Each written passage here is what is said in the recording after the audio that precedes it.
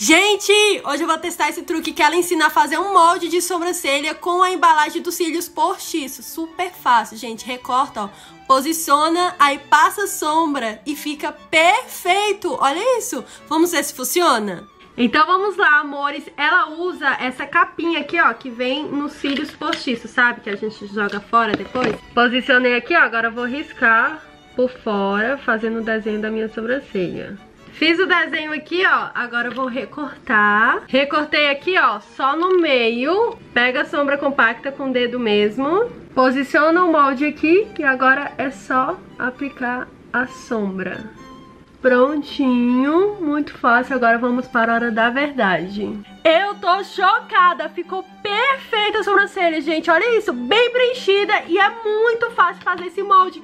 Ajuda super, isso aqui você joga fora, então é sem gastar nada. Tô chocada, me diga aqui o que acharam.